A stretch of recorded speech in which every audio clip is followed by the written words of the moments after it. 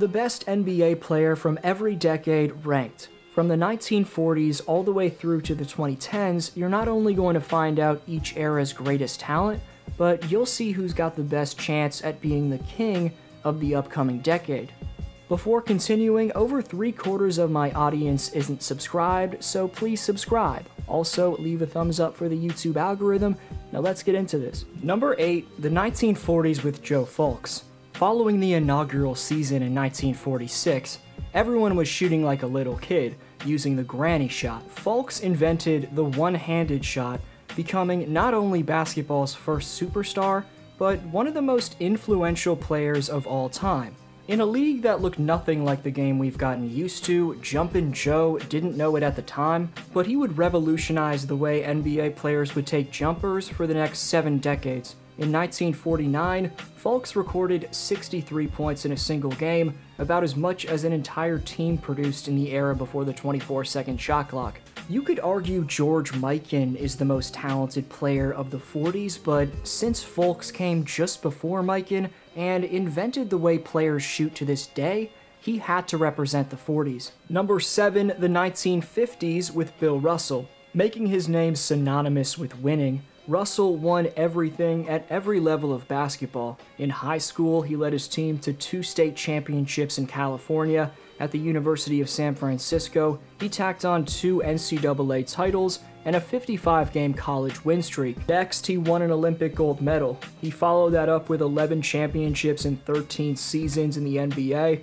including 8 consecutive titles during the 1960s. I chose a different player for the 60s, but Russell's debatably the best player of that era as well. He led the league in rebounding five times and minutes per game once. He ranks number one in NBA history by a significant amount in defensive win shares. Tim Duncan's a distant second. He's second in total rebounds, rebounds per game, and minutes per game for his career. Number six, the 1970s with Kareem Abdul Jabbar. Based on his production and resume, you could argue Kareem Abdul Jabbar should be ranked higher. He's one of the 10 best players in NBA history, but he doesn't get talked about as much as the other big names. After Kareem's first season, the Bucks traded for All-Star Oscar Robertson. The team improved to a league best 66 wins as Abdul-Jabbar won the MVP after averaging 31.7 points per game. The Bucks would dominate in the playoffs, similarly to how they dominated this season, but in the 1970s, they only lost twice en route to the franchise's first title. Abdul Jabbar was also named Finals MVP.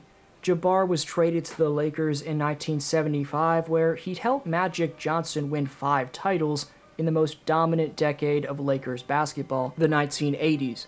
But by the end of his career, Kareem had racked up six league MVPs, 15 All NBA selections, and six rings. Number 5, the 1980s with Magic Johnson the most innovative playmaker in the open court that we've still ever seen to this day.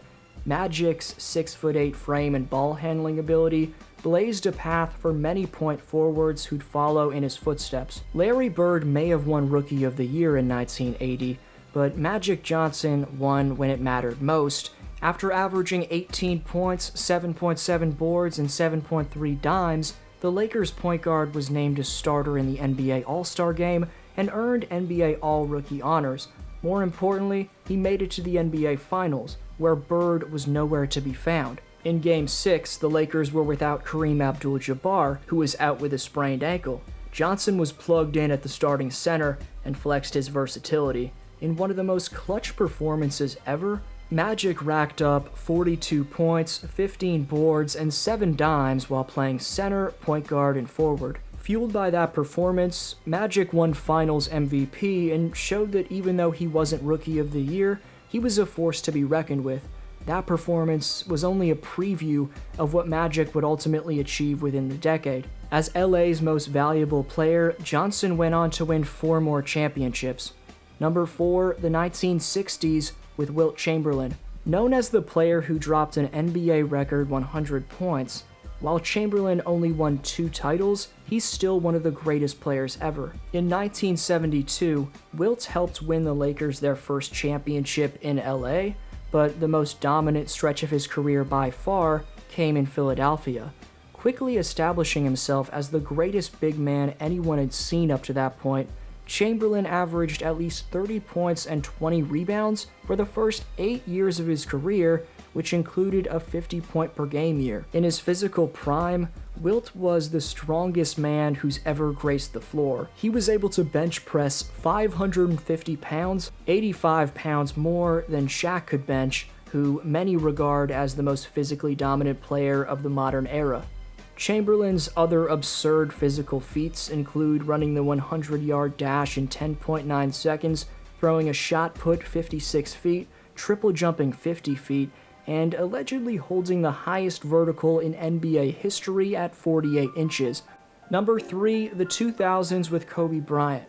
With a generationally ruthless work ethic, the Black Mamba fought his way up from being a role player in his early years, eventually becoming the greatest player in franchise history.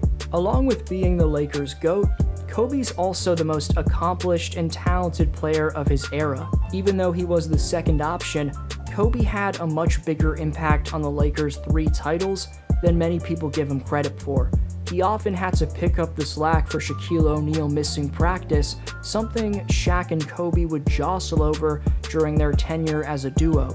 O'Neal's right up there with Tim Duncan for the best players of the decade, but his old running mate in the late great Kobe Bean easily takes the cake. For all 10 years of the decade, he was All NBA, an all defensive team eight years, matched by only Tim Duncan. Kobe was first team all defense seven years and first team all NBA seven years. Bryant also made an appearance in the finals six out of the 10 years of the decade. Nobody except Shaq comes close to that. Number two, the 2010s with LeBron James. At the beginning of the decade, in July of 2010, James found himself heading into free agency without a championship as he sat across from reporter Jim Gray at the Boys and Girls Club, preparing to make the biggest decision of his career. James was about to chart the course of the NBA for the next decade. On that night, when James announced he was leaving Cleveland to join forces with Dwyane Wade and Chris Bosh in Miami, he started the player empowerment era that we're in to this day. The decision kickstarted a streak of nine NBA Finals appearances in 10 years, which gave James four championships, ending all of the early narratives and silencing doubters who questioned his incomplete resume and ability to deliver in the clutch.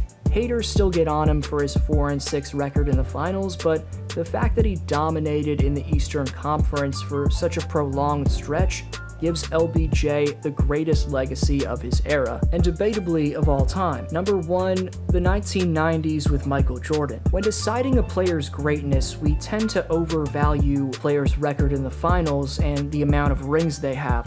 While that does factor into the debate a decent amount, Jordan going 6 for 6 in the finals is far from the only reason why he ranks number 1.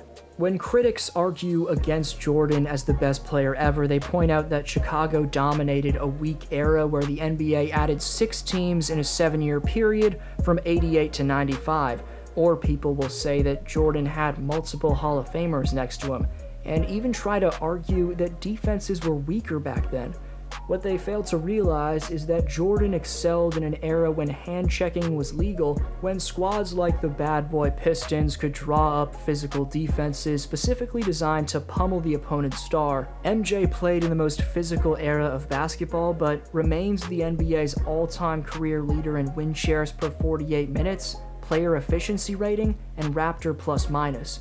As 538.com puts it, Jordan's reputation as the GOAT was not merely a media creation or the product of ring counting, it's withstood the tests of both time and science. Jordan wasn't only the master of mixing up drives to the basket and mid range pull ups, but he had genius level defensive instincts. MJ won Defensive Player of the Year in 1988 he ranks number 18 all time in steal percentage, and he made 9 all defensive teams. The most famous moment for Jordan was the pull up and push off on Bryon Russell, which led to a championship clinching jumper. Everyone forgets the reason Jordan even had the chance to make that happen in the first place his defense.